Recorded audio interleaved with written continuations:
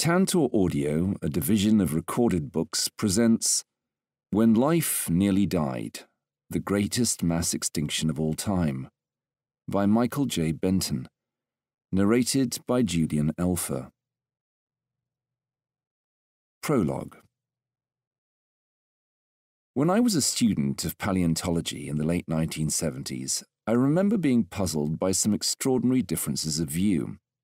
These were not minor disagreements. That sort of thing is common enough, and such disputes are usually resolved eventually by the discovery of some new evidence that settles the matter one way or the other. This dispute was over the biggest mass extinction of all time. Some paleontologists accepted that, around 250 million years ago, all of life on Earth came very close to complete annihilation, while another group argued that nothing at all had really happened, how could there be any debate about such a fundamental question?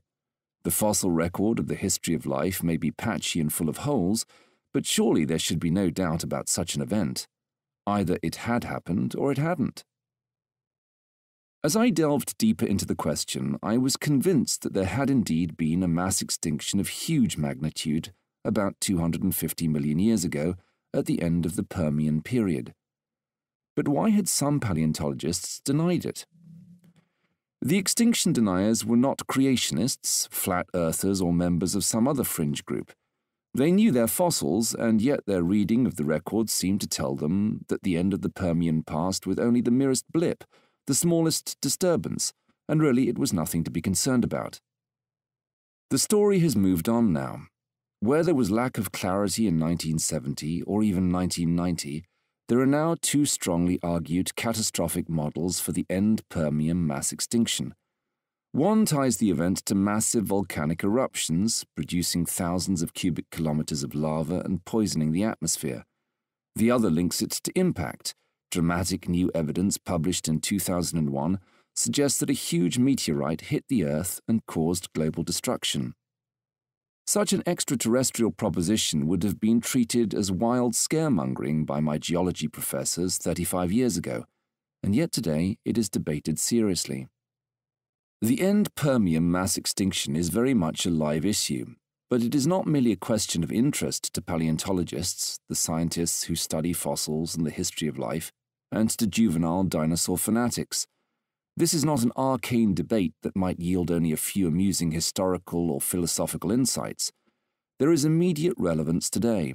It has often been claimed that we are living through a mass extinction at the moment, where the main agent of destruction is human activity.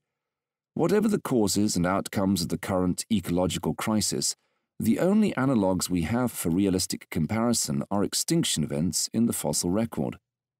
They can give indications of what might or might not happen in the future. Death of the Dinosaurs In the late 1970s, much more was written about the death of the dinosaurs, the mass extinction that happened 66 million years ago at the end of the Cretaceous period. But even for this heavily studied event, there was huge disagreement. The common view was that the dinosaurs had dwindled to extinction gradually over perhaps 5 million years. Certainly, from time to time, rather wild proposals had been put forward that there had been a huge solar flare, a massive meteorite impact, or some other extraterrestrial catastrophe. But these were all apparently nonsense. Geologists in 1970 knew that the Earth was subject to huge forces that moved the continents at a slow pace, but massive impacts? Not likely. Then, in 1980, came one of the most astonishing publications of my lifetime.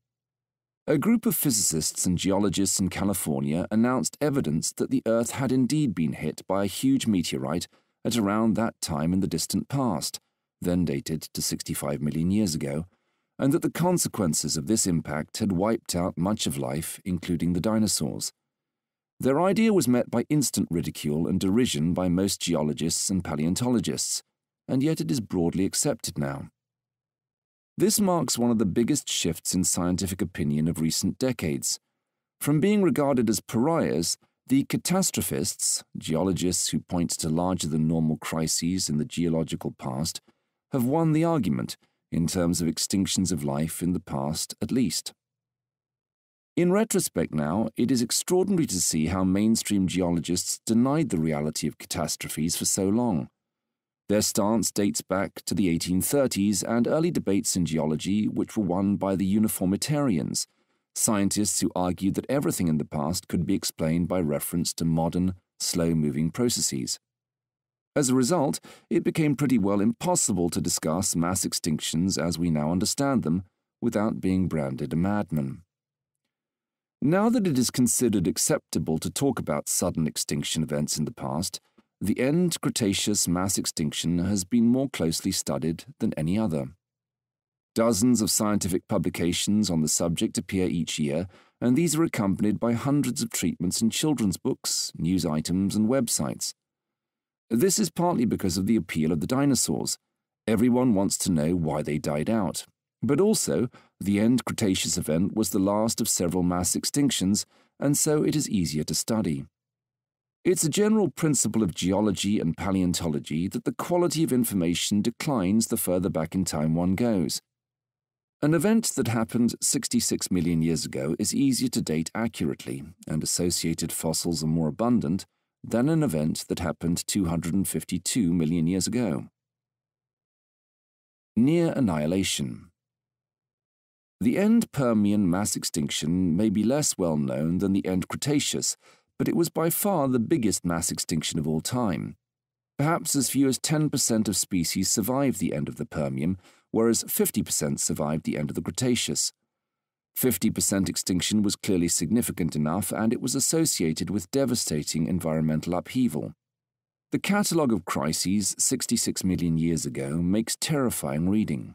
The impact of a vast meteorite in the Caribbean, volcanism in India, major environmental deterioration, dust clouds, blacking out of the sun, freezing cold, acid rain, and dinosaurs going extinct on all sides.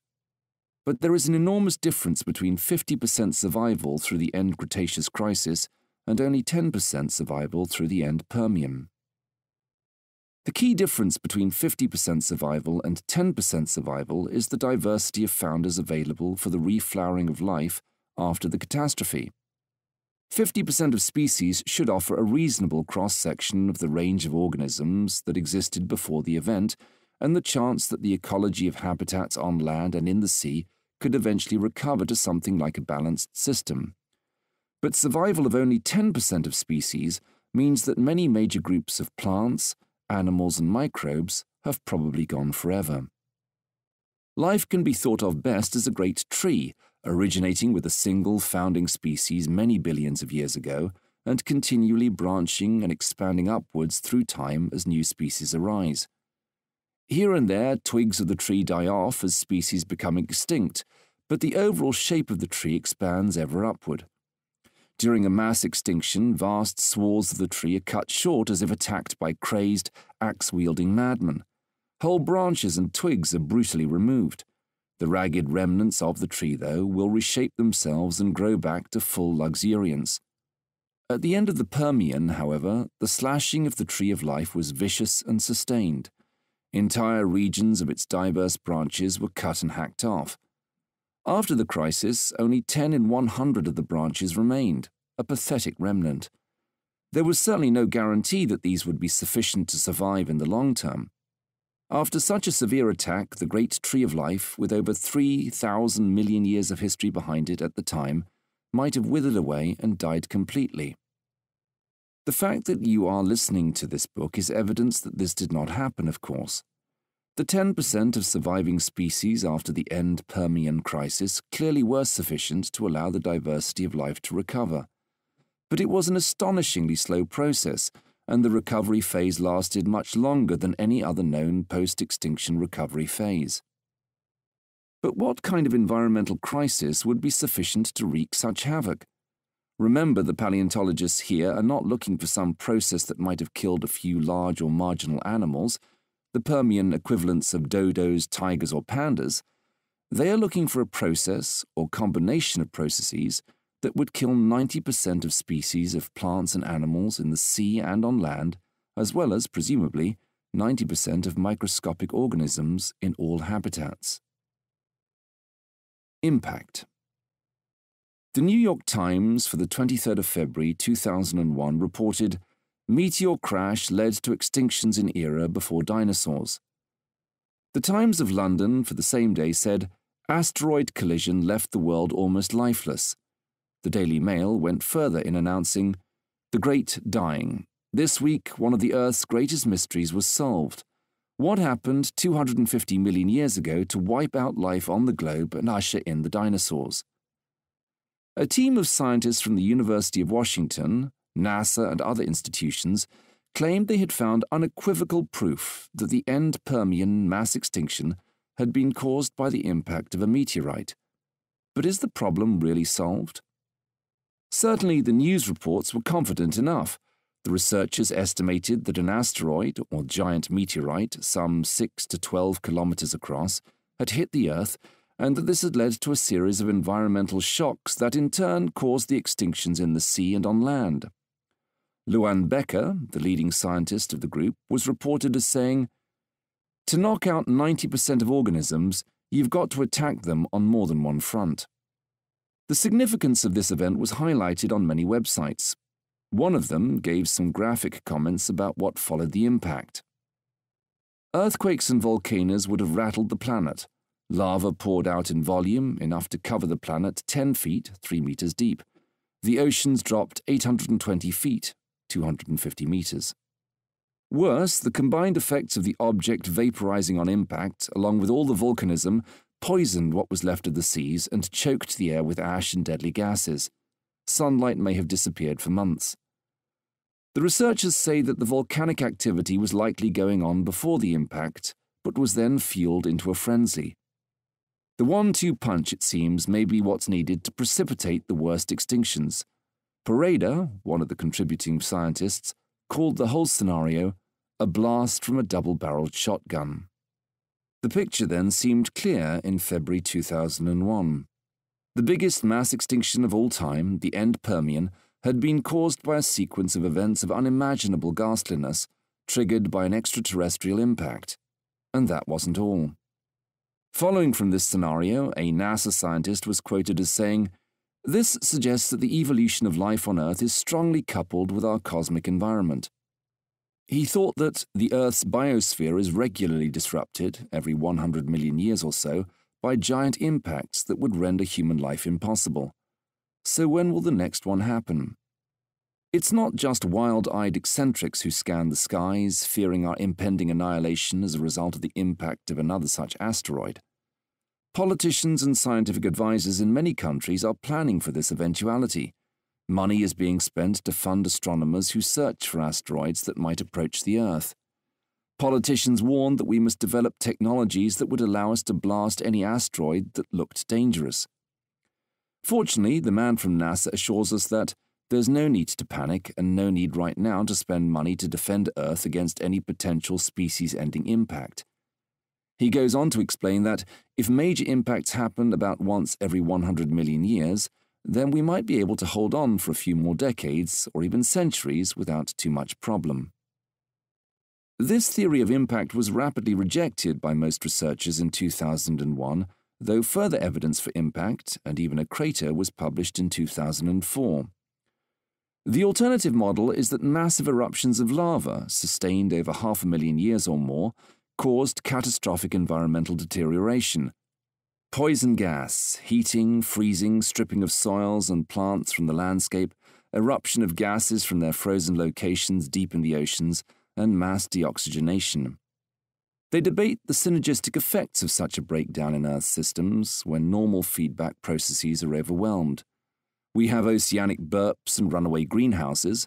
The volcanic model has been developed step by step through the 1990s, and it has progressively picked up adherents and enthusiasts. So who is right? Was the biggest mass extinction of all time triggered by volcanic eruptions or by meteorite impact? This book sets out to provide the answer. The ripples from ancient mass extinctions spread a long way. The end Permian catastrophe is clearly no longer a minor sideline in the history of the Earth, as I was taught by my geology professors. Perhaps nothing so familiar as the dinosaurs was killed off, but the event was profoundly more important. Scientific findings about the events of 252 million years ago can inform our understanding of modern extinction threats in a direct way. When life nearly died. My personal involvement in exploring the end Permian mass extinction took me to Russia several times in the 1990s. Shortly after Glasnost and Perestroika, we had the opportunity to mount expeditions to the Ural Mountains, the borderland between Europe and Asia, where some of the best Permian rocks are to be seen. We were looking at the successions of ancient environments there and the evolution of amphibians and reptiles on land. In a way, too, we were recreating history. The Permian period was named in 1841 after the city of Perm on the western edge of the Ural Mountains, and it was named by a roving Scotsman. Sir Roderick Impey Murchison, one of the most distinguished geologists of his day, was engaged in a rapid and grueling tour of Russia during which he made the first studies of the classic Permian, and his early role is a critical part of our story. In this book, we shall explore several themes. We meet Sir Richard Owen and some other Victorian worthies who were the first to explore the fossil reptiles of the past, including the dinosaurs. These were early days for paleontology, and with new discoveries coming in from all corners of the world, they had to grapple with the astonishing concept of huge antediluvian reptiles, much larger than any modern lizard or crocodile. At the same time, geologists were disentangling the sequence of the rocks. They were laying the foundations of our understanding of geological time and dating. This story includes a journey through the gentlemen's clubs of London in the late 1830s, Murchison's stately progress through Russia in 1840 and 1841, and his evidence for naming the Permian period. Then, with the evidence in place, we shall explore in Chapter 3 why many, if not most, geologists and paleontologists denied the reality of a substantial crisis at the end of the Permian. In parallel with this denial was the problem of understanding the demise of the dinosaurs and other extinctions. Some extraordinary ideas were put forward right up to the 1970s. The phase of denial of the end Permian mass extinction has ended only relatively recently. Chapters 4 and 5 explore the two major developments that forced this shift of opinion the rediscovery of catastrophism, neocatastrophism, and the acceptance that the Earth has undergone unexpected and huge upheavals in the past. The change of opinion was crystallized in that single remarkable publication in 1980 that offered a robust presentation of evidence that the dinosaurs had died out as a result of a massive meteorite impact. Through this time of adjustment, from about 1950 to 1990, progress was slow. Many geologists found it immensely hard to accept such wild and preposterous kinds of processes in Earth history. Then, in Chapter 6, we explore the history of life and how it has diversified from a single species to many millions today. Several mass extinctions and many smaller extinction events have punctuated the evolution of life from time to time. What has been the role of extinction, and are there any general or predictable patterns? Next, we look at the end Permian mass extinction in detail. To do this, we follow geologists on their recent explorations of the evidence in China, Russia, Pakistan, Italy, Greenland, and other parts of the world as they strive to pin down the exact timing of the event. Their work has also revealed some startling new evidence about the precise sequence of environmental changes before, during, and after the crisis. The latest research on the mass extinctions in the sea reveals a great deal of detail about the magnitude of the event, which groups died out and which survived, whether the extinctions were ecologically selective or not, and whether they happened equally in the tropics and at the poles. Dramatic new discoveries also tell us much about what was happening on land at the end of the Permian. Intensely detailed studies of ancient soils, river sands, and lake muds have revealed the changes in plant life and in the amphibians and reptiles that fed on the plants and on each other. These studies also show what the post apocalyptic scene was like after the mass dyings, the earth was a cold, gloomy place, and the few surviving plants and animals experienced a strange, empty world. Our work in Russia contributes new evidence concerning the extinctions of life on land, and in particular the extinctions of large reptiles. Drawing all the threads together, the evidence of ancient environments read from the rocks, the evidence for major climatic changes read from chemicals within those rocks, and the detailed record of appearances and disappearances of microbes, plants and animals on land and in the sea, leads to a cohesive picture of just what happened at the end of the Permian. The debate about meteorite impact versus volcanic eruption continues apace, and I highlight the strengths and weaknesses of each theory. In the end, there does seem to be a clear winner, one which provides a convincing model of the sequence of killings. This is a model that could not have been known and certainly would not have been believed 30 years ago. Indeed, it's a model that could not have been offered even five years ago. But it is a model that is attracting increasing approval from Earth scientists as they examine the new evidence. But what does this mean for humans today? Potentially a great deal, especially in understanding the greenhouse effect and current threats to biodiversity. The growing research links between paleontological and geological studies of mass extinctions of the past and the current ecological crisis on the Earth are explored in the last chapter. Scientists, conservationists, and politicians are looking ever more closely at the evidence from the past. In planning for the future, perhaps the best evidence comes from the past. Since 2003, Inevitably, many new discoveries have been made in the 12 years since this book was first published. In this new edition, I have updated the text throughout. Of course, much of the background and historical detail remains unchanged. This has still been a story in which varied scientists were unwilling to admit that extinctions had happened, and where we have seen several revolutions in ways of thinking even within living memory. I have also had the pleasure of continuing research along several lines relating to the Great Extinction. We carried out further fieldwork on the Permo Triassic boundary in Russia in 2004, 2006, and 2009, and this has shown that the extinction of amphibians and reptiles was indeed sudden, but also that the ecological recovery after the event lasted for at least 15 million years, far longer than previously thought.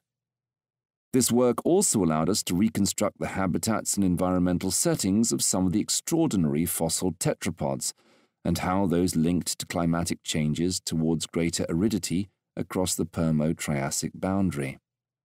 Most importantly, I have extended my experiences to South China, one of the most productive areas in recent years for improving understanding of the Great Mass Extinction.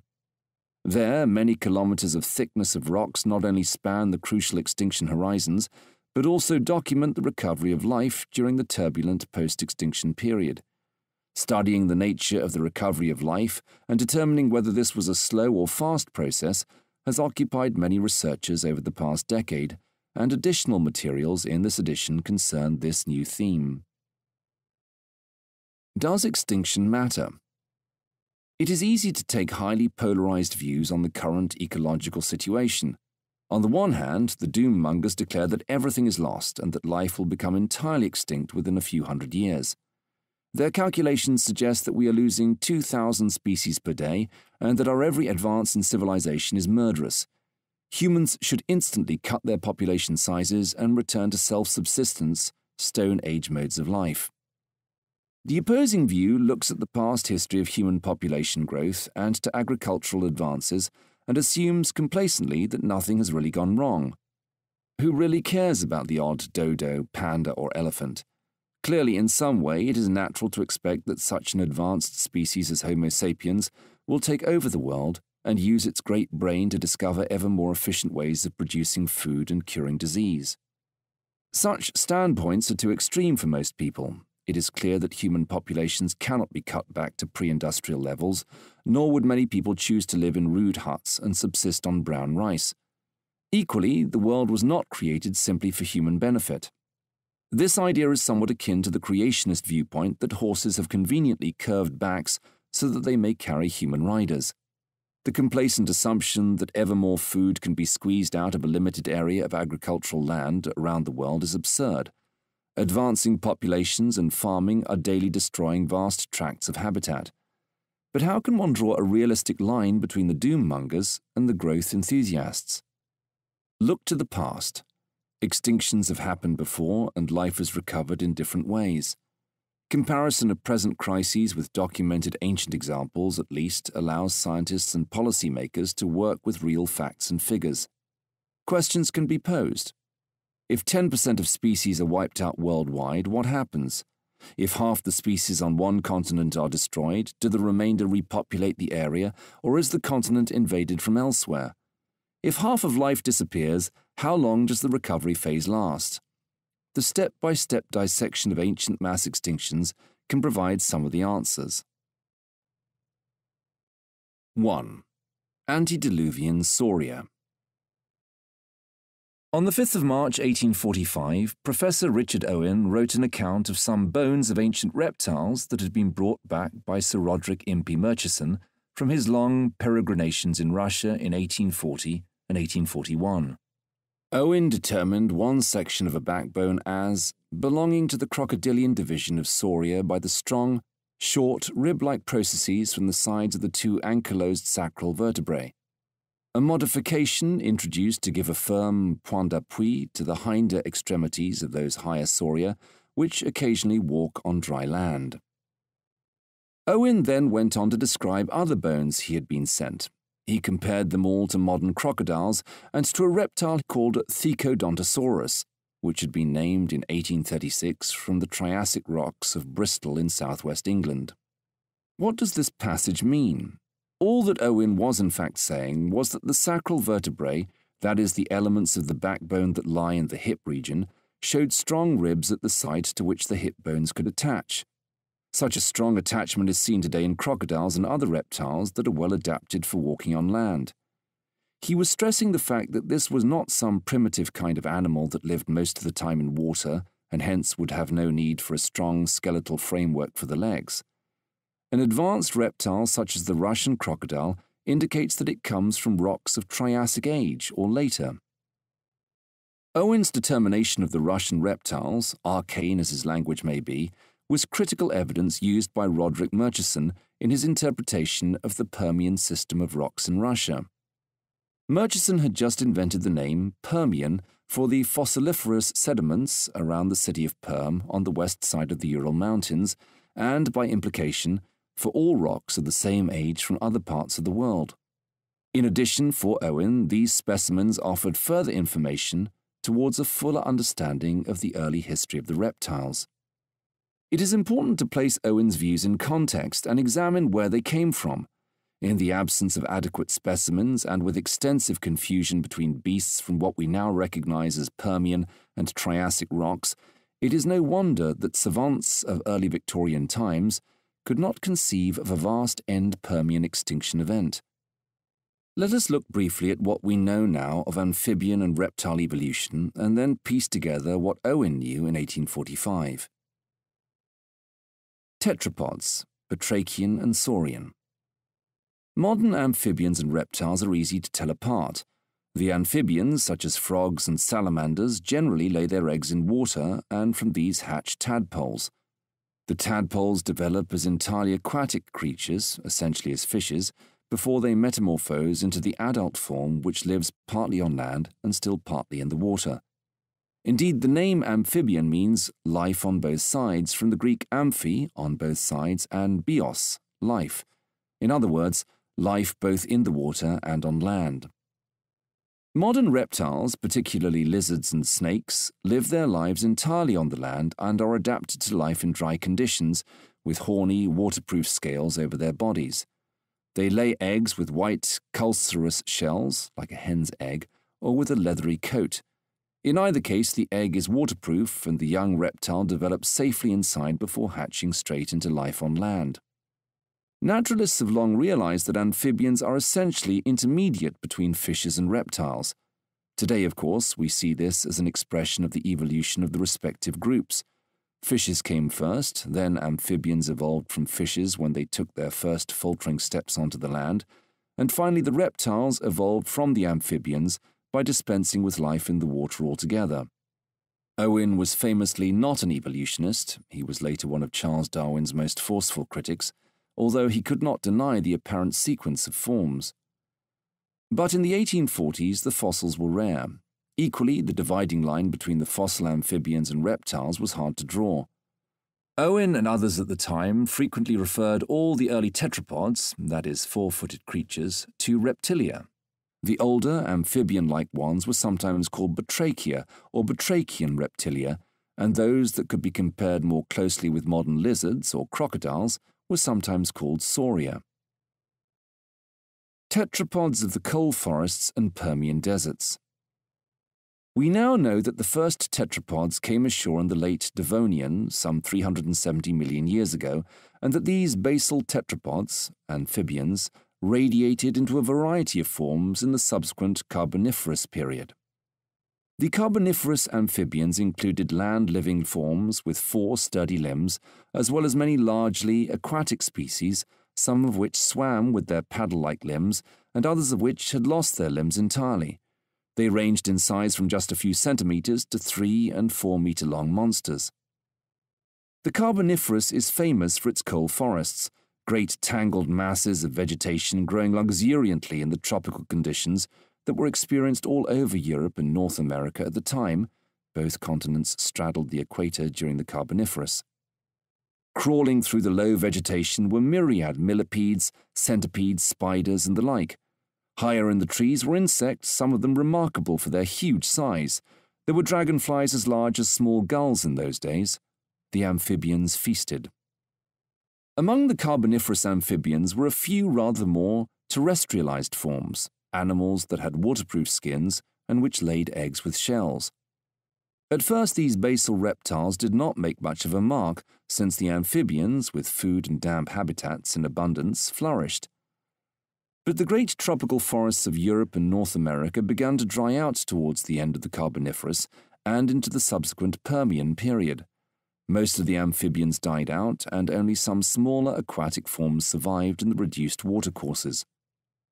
Now it was the turn of the basal reptiles to flourish. During the Permian, the group called the synapsids, or mammal like reptiles, rose to dominance, especially in the late Permian. Ecosystems became complex with synapsids of all shapes and sizes feeding on the plants, insects, and other invertebrates, and each other. By the end of the Permian, some ecosystems were as complex as any today. Top level animals had evolved massive herbivores the size of rhinos and saber toothed carnivores that could pierce the thick hides of these huge plant eaters. Among the smaller reptiles, in addition to the synapsids, were also representatives of other groups, including forms distantly ancestral to turtles and to crocodiles and lizards. But these animals abruptly disappeared, wiped out by the mysterious end Permian crisis. The complex ecosystems collapsed and all the richness of late Permian life was destroyed. What came next was one of the most extraordinary times in the history of the Earth. When pigs ruled the Earth. A few years ago, I had a rather plaintive phone call from a researcher who worked for a small independent filmmaker near London. They had completed a one hour documentary about the end Permian mass extinction, but the program had just been turned down by the commissioning television company. I asked why, and was told it was because there was too much about lemurs in the film.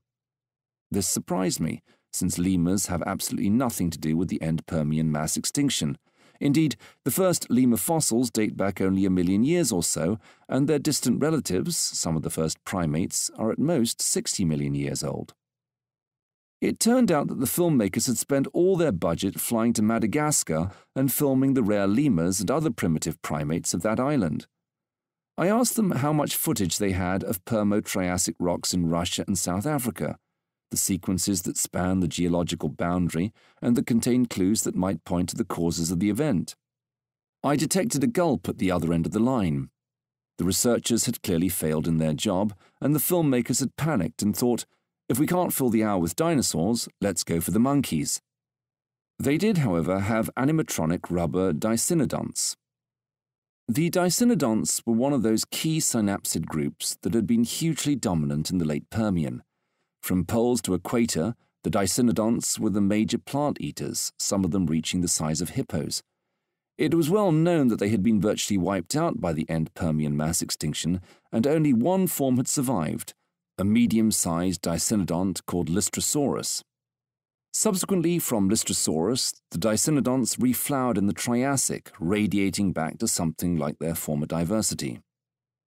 The filmmakers had at least heard of Lystrosaurus, this extraordinary reptile that had survived the end Permian cataclysms. All the impacts, eruptions, freezing, poisoning, and other catastrophic events had not discouraged Lystrosaurus, which not only survived, but repopulated the Earth from Antarctica to China, from Argentina to Russia. Surely Lystrosaurus must have been the original bionic organism, possessing superpowers that its friends and relatives lacked. To rescue their film, I was interviewed at the animatronics studio in London. As the model Lystrosaurus gulped and rolled its eyes beside me, I tried to explain that it was in fact a very ordinary animal. It had no special survival qualities that the other animals lacked. It was simply lucky. Why, they kept asking, did Lystrosaurus survive and nothing else? A clear adaptive statement was required. I explained that Lystrosaurus was a survivor of a sort, but it was not particularly fast, fearsome, or intelligent. It was really something like a Triassic pig in appearance, and even perhaps in habits, since it was probably a generalist without specific adaptations in its diet, living requirements, or mode of locomotion. The point is that good fortune is a characteristic of mass extinctions. The survivors are more lucky than specially adapted. The most advanced, intelligent, fast breeding animal species may be wiped out by the chance calamity of an extinction event when it is obliged to face challenges that have never been encountered before. Evolution works to hone the fine details of the adaptations of organisms against commonly encountered problems such as droughts, floods, predators, and diseases, but rare events that happen perhaps once every few million years just cannot be accommodated. The phenomenon is what the paleontologist David Raup memorably described as bad luck, not bad genes.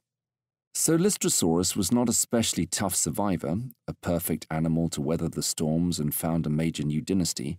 It was rather nondescript, about 1.5 meters long, with a bulky, blimp-like body and rather inadequate hindquarters. Its legs were short and its head was heavy, armed with a small snout and horn-edged jaws that lacked all but the canine teeth. Lystrosaurus was a plant eater that evidently sliced tough stems and chopped them into manageable fragments by a circular backwards and forwards rotatory jaw action. All of this was nicely shown by the animatronic model, which, by the operation of a control panel, could be made to snuffle or drool while technicians added suitable snorts and howls. A few weeks later, when the film had been put together, it was retitled When Pigs Ruled the Earth, the title appearing in all the pre publicity handouts and notices. The Sunday Times ran a full page story accompanied by lurid colour illustrations about how pigs had been hugely successful in the Triassic and how they had later evolved into the array of other mammals we know and love today. On the day after the film was shown, I encountered withering looks of pity from colleagues and students alike. But at least Lystrosaurus became known to a wider audience. Reptilian Renaissance in the Triassic the earliest Triassic was indeed a bleak, impoverished time, gone were the specialized plant and flesh eaters of the late Permian. All that remained were literally one or two tetrapod species worldwide, including Lystrosaurus, and these slowly populated the earth, eventually giving rise to a second flowering of the reptiles. But the old days were over. New animals came on the scene, including the dinosaurs. Some synapsids radiated in the early part of the Triassic, and they diversified to a certain extent, but ecosystems did not reach the levels of complexity achieved in the late Permian for millions of years, and the synapsids were unable for a long time to regain their former ascendancy. In fact, the end Permian mass extinction triggered an evolutionary dance. The synapsids largely withdrew, and their place was taken by the great reptilian group called the diapsids, two arches referring to their two cheekbones behind the eye socket, represented today by crocodiles, lizards, snakes, and birds, and deriving from a distant Carboniferous ancestor. During the Carboniferous and Permian, the diapsids had been a minor element of most faunas, only a small lizard like creature here and there, never large, and rarely more than 2 or 3% of the total numbers of animals. Some admittedly took to gliding in the latest Permian, but they were hardly a major group. In the early Triassic, some diapsids, in particular the group called the archosaurs, ruling reptiles, took over the carnivore niches. They preyed on the re evolving synapsid plant eaters. During the first 20 million years of the Triassic, the basal archosaurs diversified slowly and eventually included huge predators, some of them up to 5 meters long. The first dinosaurs appeared about this time and diversified in the late Triassic. Rather small bipedal forms at first, they soon reached huge size. Mammals were around during the entire age of dinosaurs, small descendants of the formerly dominant synapsids, but the dinosaurs ruled the Earth for the next 165 million years until their extinction 66 million years ago. Then, after a long wait in the wings, the synapsids' descendants, the mammals, finally moved back to dominate the Earth, a position they had last held in the late Permian. The synapsid diapsid synapsid cycle had gone full circle. This is our present understanding, founded on extensive collecting and study of specimens from around the world since the 1840s. But Richard Owen knew very little of this. He had information from only scattered fossil remains, and indeed many of the principles of his work had only just been established. In particular, the new science of comparative anatomy, which was Owen's forte, was only around 20 years old when he was studying the Russian saurian fossils. No wonder that neither he nor any of his colleagues could even conceive of the magnitude of the mass extinction event that they had just begun to document. The nature of fossils. I remember collecting my first fossils at the age of eight. I was brought up in Aberdeen in northeast Scotland, a city where all the older buildings are constructed from the native silver coloured granite, a resilient rock that looks as fresh today as it did when it was cut 100 or 200 years ago. Granite is an igneous rock formed deep in the Earth's crust from molten magma, and there was no chance of ever finding fossils in that. On family holidays in Yorkshire, though, I was able to explore more fruitful rocks, in particular the marine Jurassic rocks of the coast around Saltburn, Staithes, and Whitby. There it is easy to collect fossils clams, brachiopods, coiled ammonites, rare corals, and even isolated bones of marine reptiles and fishes. Easiest to find were specimens of Gryphaea, formerly called devil's toenails, since they looked like the calloused, horny toenails of some great dragon. A Gryphaea specimen fits neatly into the palm of a child's hand, a deeply curved shell shaped something like half a donut, but with a flat shell covering the top. Gryphaea, an oyster, lived with its curved lower shell half buried in the seabed mud, and its upper, flat shell able to flap open and shut rather like the lid of a kitchen bin. I collected 160 of these shells on my first fossil hunting trip and insisted that we carry every one of them back with us to our hotel and then on the train home to Aberdeen. It was obvious to me then that these fossils were the remains of animals that had once been alive. Of course, today we read that fact in all the books about fossils, and any child who is interested in dinosaurs will know that the shells, bones, and impressions buried in the rocks can be brought back to life by paleontologists, but this has not always been self evident. In the Middle Ages, scientists discussed the nature of fossils long and hard. Surely, they argued, the fossil shells that they found high in the hills of Italy or France could not be the remains of real sea creatures, since the sea was miles away. Some of them might have been carried there by Roman soldiers, but not all of them. As in so many things, however, Leonardo da Vinci had the correct answer. He argued that if a fossil looks in every detail like a modern shell or bone, then it must clearly be the remains of some ancient organism related to the modern forms. The fossil shells got into the high hills since the seas had once covered those hills, or the hills had been lifted up after the rocks had been deposited to form the mountains we see today.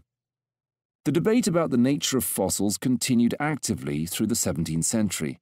The great savants of England and France presented weighty arguments on both sides. Some claimed that the fossil shells, sea urchins, shark's teeth, mammoth bones, and other fossils they found were indeed the remains of ancient organisms. Others argued that this was impossible. Surely the so called fossils had been placed in the rocks by the Almighty to test our faith.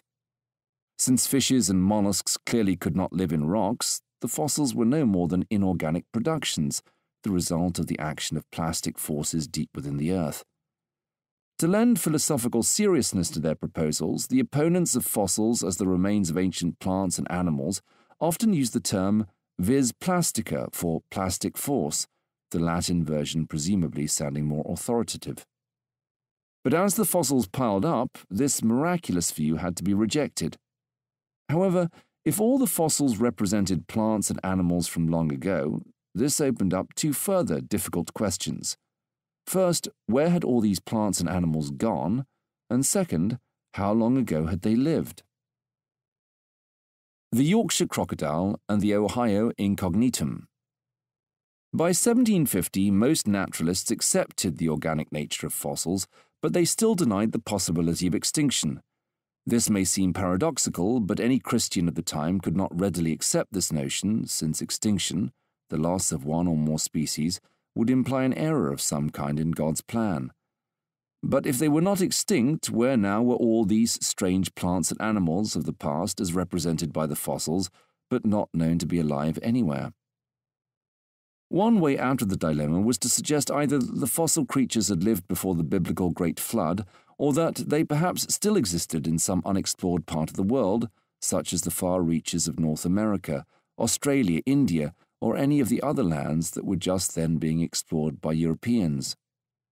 In 1758, a beautiful fossil of a crocodile was reported from the foot of a cliff on the Yorkshire coast near Whitby, indeed close to the site of my early fossil hunting forays, as it happens.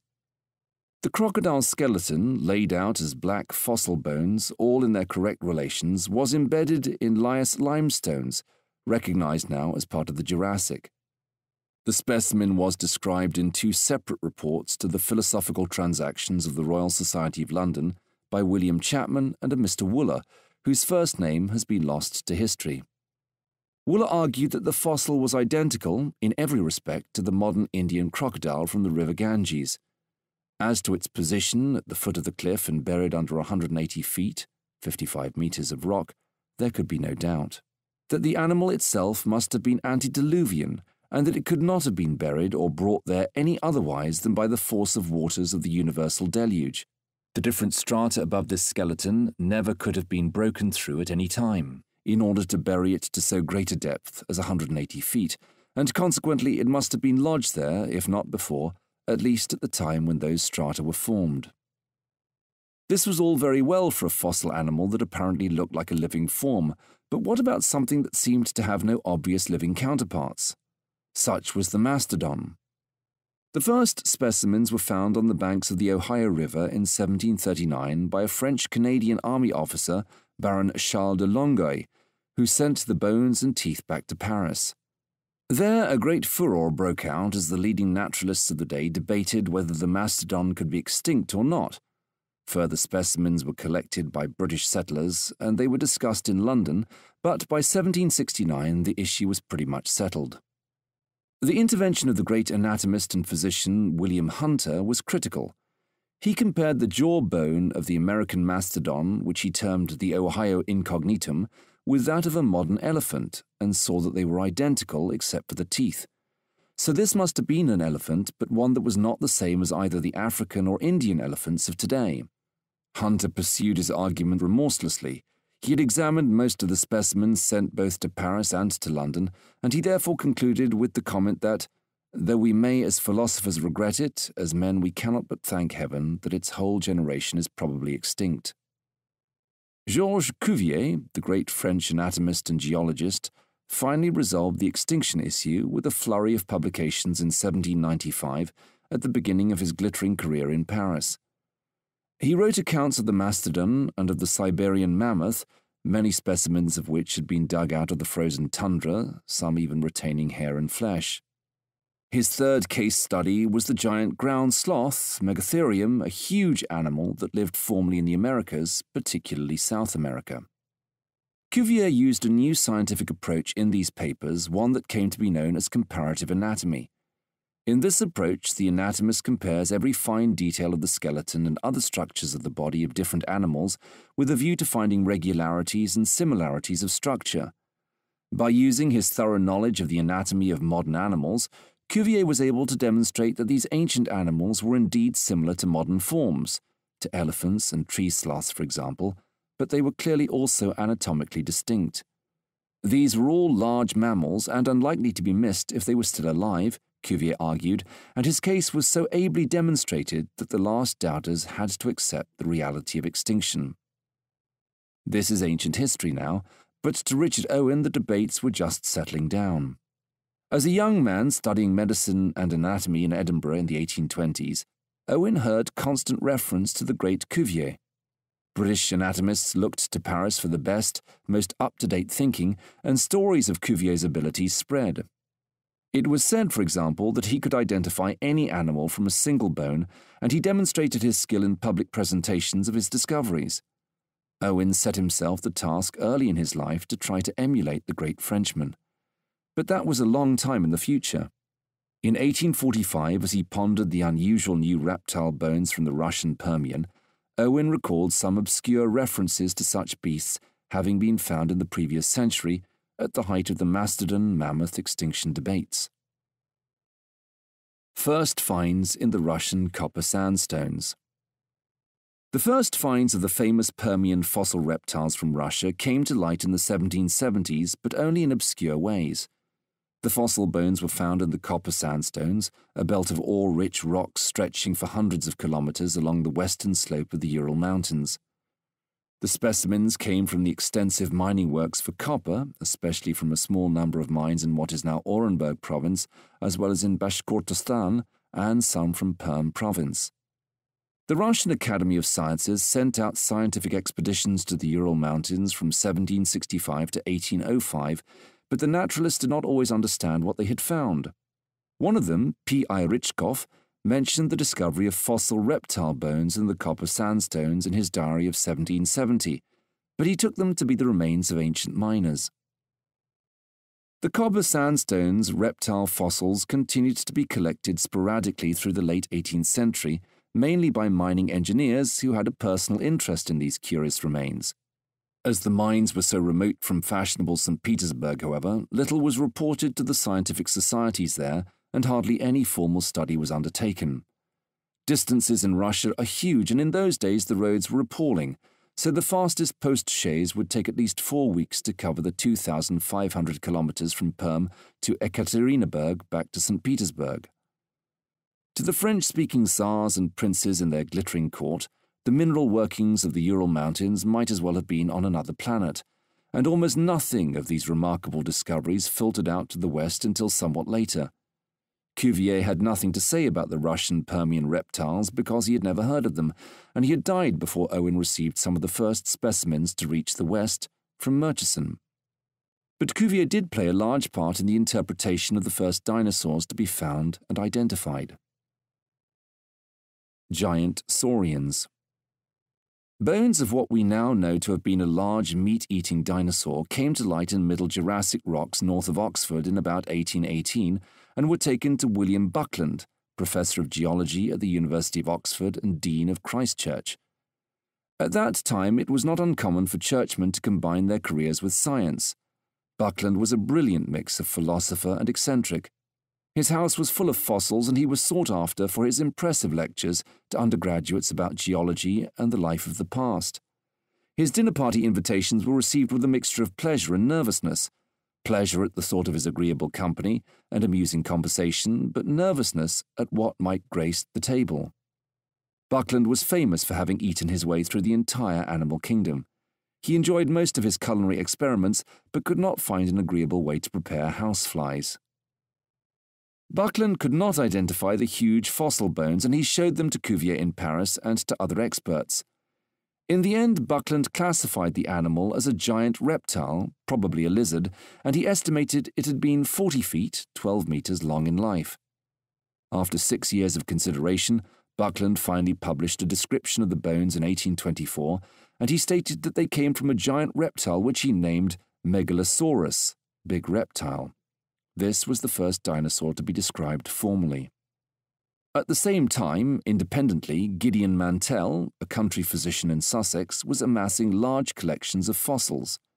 Mantell was as fanatical about geology and paleontology as Buckland, but he lacked the family background and wealth to indulge his philosophical pursuits freely.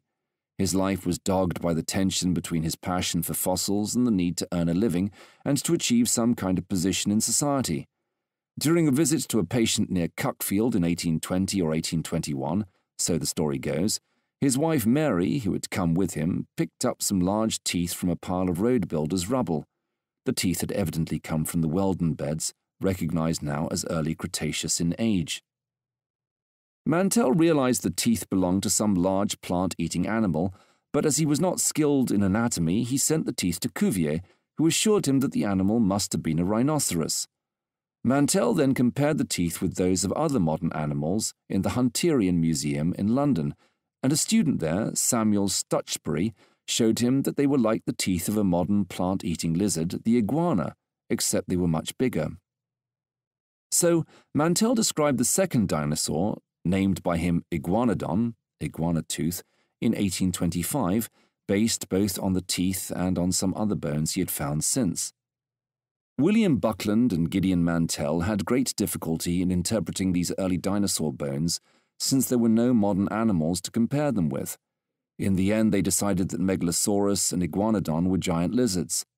The third dinosaur to be named, Hylaeosaurus, came to light in southern England in the same Wealden beds that had produced Iguanodon. Mantell named it in 1833. Further dinosaurs were named in the 1830s, including two from the Triassic. Thecodontosaurus was named in 1836 by Henry Riley and Samuel Stutchbury from Bristol, southwest England, and Plateosaurus in 1837 by Hermann von Meyer from southern Germany. In 1842, Richard Owen himself named the sixth dinosaur, a giant plant eater, again from the Middle Jurassic of Oxfordshire, Cetiosaurus, but still no one knew what these extraordinary giant beasts actually were. Richard Owen, the British Cuvier. By 1841, when Murchison brought back his valuable bones from the Permian of Russia, Richard Owen was rising rapidly in reputation. Owen had arrived in London in 1825 after his medical training in Edinburgh and was appointed as an assistant at the Royal College of Surgeons in 1826 with the task of sorting out their collections of anatomical specimens, both human and animal. He began to produce a series of catalogues in 1830 continuing with the task until 1860. In 1836, Owen was appointed Hunterian Professor of Anatomy at the Royal College of Surgeons. A reward for his labours, this also gave him the status he craved in order to make an impact in scientific circles in London. Although he had worked mainly on the anatomy of living, or at least recently dead, animals up to 1836, his new status as the British Cuvier made him the obvious choice to review the burgeoning materials relating to the giant fossil reptiles. Owen at the time was aware of his own intelligence and he was intensely ambitious. With his high forehead and arresting eyes, his capacity for fast and accurate work, and his skills as a lecturer, he made a strong impression on his older colleagues. Thus, Owen, a scientific gentleman of the new breed, one who earned his living, was awarded one of the first scientific research grants for paleontology. In 1838, the British Association for the Advancement of Science, the BA, offered him £200 to pay his expenses in compiling a survey of the British fossil reptiles. For this, he travelled extensively throughout England, examining specimens in public museums, but many more in the collections of wealthy amateurs. He presented his report on the marine reptiles, the ichthyosaurs and plesiosaurs, from the Jurassic rocks of the Dorset and Yorkshire coasts, and from the Cretaceous of Kent at the BA meeting in 1839 in Birmingham. The committee of the BA was so pleased with Owen's work that they promptly awarded him a further £200 to extend his survey to the terrestrial reptiles, the crocodiles, turtles, and giant saurians. Owen set off again on his tours around England, travelling mostly by carriage but using the new railways where he could. He prepared a full and detailed account of all that he had seen during the course of two years of intense work, and he presented his paper at the next meeting of the BA, this time in Plymouth, on the 2nd of August 1841. The talk lasted for two and a half hours, and the audience was reported in contemporary newspaper accounts to have received the peroration with satisfaction and approbation. In any case, much pleased with his brilliant overview, the BA awarded Owen a further sum of £250 to complete another report and £250 towards the cost of engravings of the extinct reptiles. Owen's work was straightforward as regards the fossil turtles and crocodiles. They could be compared readily with their living relatives. However, the giant saurians, Megalosaurus, Iguanodon, Hylaeosaurus, and the rest, were much harder to explain. In the first version of his report, the basis for the talk in Plymouth, Owen simply tried to shoehorn them all into existing groups. So some were overblown lizards, others were crocodiles, and yet others were something in between. but Owen was much more daring in the final report, which was published some months later in 1842. Owen names the Dinosauria. Between August 1841 and April 1842, Owen had a revelation. No longer were the giant saurians to be explained as some ancient and overgrown tribe of lizards. They clearly represented an entirely distinct group that had left no descendants. Owen's revelation came as he studied additional specimens of Iguanodon and Megalosaurus. He noted that the femur, thigh bone, looked more mammalian than reptilian in certain features. In particular, the head of the femur was curved inwards and had a ball like structure that would fit into a socket made by the hip bones. These giant saurians apparently stood high on their legs, just as cows, humans, and birds do. They did not sprawl like living lizards and crocodiles. Owen then saw a new specimen of iguanodon that had come from the Isle of Wight, which preserved the hip region of the backbone. The sacral vertebrae, the elements of the backbone to which the hip bones are attached, were different from those of any living reptile. Normally, reptiles have two sacral vertebrae, and they are separate and distinctive bones. The new specimen showed that Iguanodon had five sacral vertebrae, and they were firmly fused together and to the hip bones. Owen recalled that he had seen the same arrangement in a specimen of Megalosaurus in Oxford. So Megalosaurus, Iguanodon, and Hylaeosaurus differed from modern reptiles by being huge, by having a mammal-like femur, and by their fused sacral vertebrae. Owen inserted a few brief paragraphs into the manuscript of his BA talk, and the deed was done. The giant land reptiles from the British Jurassic and Cretaceous were not huge lizards, but were representatives of a new group, he wrote, The combination of such characters, some as the sacral ones, altogether peculiar among reptiles, others borrowed, as it were, from groups now distinct from each other, and all manifested by creatures far surpassing in size the largest of existing reptiles, will, it is presumed, be deemed sufficient ground for establishing a distinct tribe or suborder of saurian reptiles, for which I propose the name of Dinosauria. In a footnote, Owen explained his new term based on the Greek words deinos, meaning fearfully great, and sauros, meaning lizard, or in more modern terms, reptile. So Owen was father of the dinosaur, and in naming the group, he displayed his synthetic powers and his brilliance. Gideon Mantell, who had laboured for 20 years on the giant bones, had failed to see how his new fossils fitted into the broader picture of the history of life, and he was rapidly eclipsed by his younger, more urbane rival. Owen's new understanding of the dinosaurs of the Jurassic and Cretaceous allowed him to determine that the bones shown to him by Murchison in 1845 were clearly not from a dinosaur.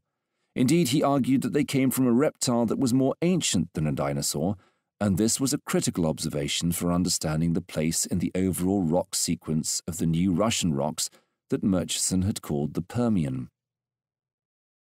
Owen and Murchison's Russian Reptiles the copper sandstones of the Orenburg district in the Urals had, as we have seen, been a source of the bones of fossil reptiles since 1770, but little serious notice was taken of the fossils until the 1830s.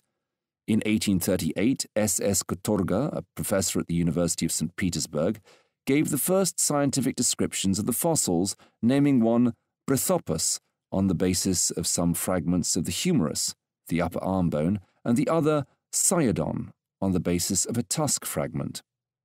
Kutorga made the astonishing claim that these were early mammals, Brithopus, a relative of the modern sloths, and anteaters, and Syodon of the elephant. In retrospect, this seems bizarre since we know now that the first sloths and elephants appeared only some 50 million years ago, not 260 million years ago in the Permian, before the age of the dinosaurs. Kutorga's claim was not so remarkable in another way, however. In spotting some mammalian characters in the copper sandstone fossils, he had actually unwittingly hinted at what these extraordinary reptiles might be, something that Owen was not to realize for a long time. These were indeed members of the synapsid line of reptiles, and therefore nothing to do with frogs, dinosaurs, lizards, or any of the other fossil groups that Owen was then studying. The Permo-Triassic synapsids are commonly known as mammal-like reptiles to signify their evolutionary position on the way to mammals. Independently, one of the directors of the copper mines in Ufa, now in Bashkortostan province, and Orenburg, the splendidly named F. Wangenheim von Qualen, had amassed one of the largest collections of copper sandstone reptiles. As his name suggests, von Qualen was of German extraction, not so uncommon in Russia at that time, when many scientists and technical experts were imported from Prussia. Von Qualen published a series of reports in the Russian scientific journals on the bones he had found. He also speculated about the age of the reptile beds, and he correlated them with the Kupferschiefer, copper shales, a part of the Zechstein of Germany. As a mining engineer, von Qualen was familiar with the Kupferschiefer, a rock unit that had been mined for decades in Prussia, and his age correlation turned out to be inspired. The Zechstein is indeed now dated as late Permian in age, as we shall see in Chapter 2. Von Qualen's specimens were studied also by Kutorga and by two other noted professors, German imports like himself, J. G. Fischer von Waldheim from the Natural History Museum in Moscow, and E. I. von Eichwald from the Academy of Science in St. Petersburg. Waldheim named a new mammal like reptile, Rhopalodon, and Eichwald named the reptile Deuterosaurus and the amphibian Zygosaurus. Owen did not have a chance to see these Russian specimens at the time, though he knew of the publications, and in reporting on the bones brought back for him by Murchison, he identified them as belonging to Fischer's beast, Rhopalodon. However, as we saw at the start of this chapter, Owen believed that this reptile was a crocodile of some kind. Whether it was a crocodile or a mammal like reptile, Owen's studies confirmed for Murchison that the Russian sandstones of the South Urals were part of a new system of rocks which he called the Permian. The reptiles seemed to be most like those of the Triassic of England and Germany, and that was all he wanted to hear. Revolution in Paleontology In a few short decades, then, paleontologists had resolved some major debates Extinction was real, as Cuvier had convincingly shown in the 1790s, and fossils could be studied as the remains of plants and animals that had once lived. Owen and his contemporaries accepted that similarities among fossils indicated similarities in the ages of rocks in different parts of the world. Cuvier's new science of comparative anatomy gave Owen the tools to make these comparisons and to begin to try to disentangle just what had been going on in the history of life through the Permian, Triassic, Jurassic, and Cretaceous. In retrospect, some of his ideas may seem odd, but he was limited by the isolated fossil finds and the difficulties of travelling from place to place to make necessary comparisons. So much for Owen's understanding of paleontology and comparative anatomy.